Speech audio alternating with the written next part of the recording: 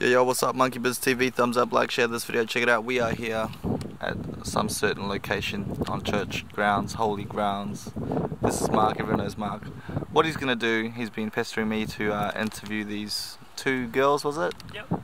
Um, Yep. and he wanted me to interview them and ask them the three questions. But I said, you know what? You do it yourself because Monkey Biz does not target people.